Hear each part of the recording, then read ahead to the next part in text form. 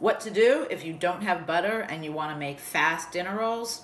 Watch this video. You only need four ingredients for these fast dinner rolls. The first is one cup of self-rising flour.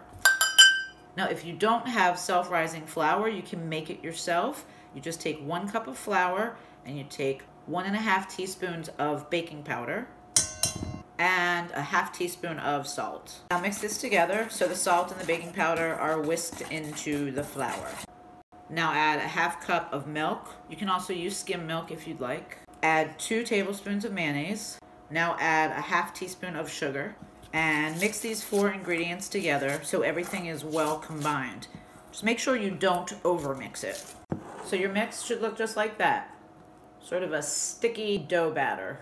Now take a muffin tin pan and lightly grease six of the muffin tins. And with your clean hands, you're going to scoop six dollops of the batter into six of your muffin tins. Now we're going to place this into a 450 degree preheated oven for 12 minutes.